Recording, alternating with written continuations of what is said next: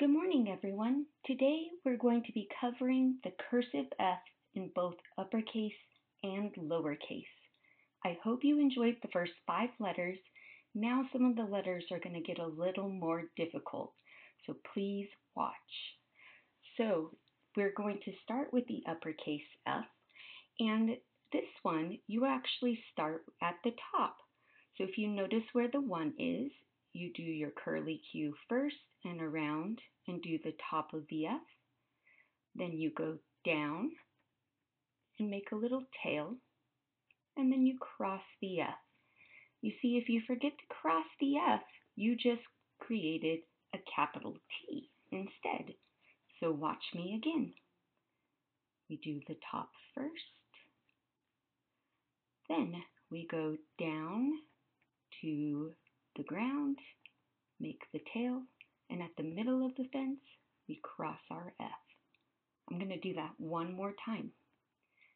Do the top, the top of the fence, go down to the ground and make your tail, and at the middle of the fence, cross your F.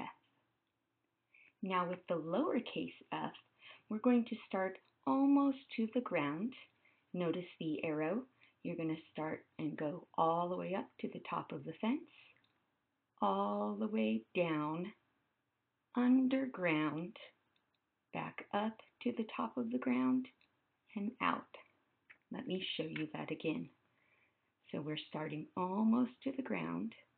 We go all the way up to the top of the fence, all the way down, underground, back up to the ground, and out.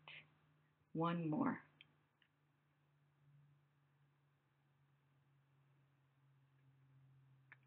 That's fun. Now let's try some of these words. Fish and fruit. Okay, so starting with fish, notice we start with the F. So we're going to go all the way up to the top of the fence, all the way down underground to the ground, out and straight into the I.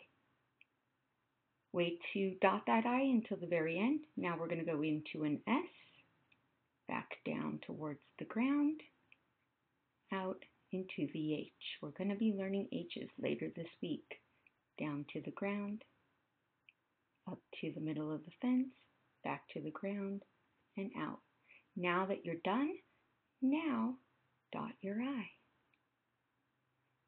Okay, remember, you don't dot your I's and cross your T's until you're done doing your whole cursive word. So that goes for F's as well. So you don't cross through your F until, well, you can actually, until you're done with the entire F. The last step is crossing through your F. I hope you enjoyed our cursive F lesson for today. See you tomorrow.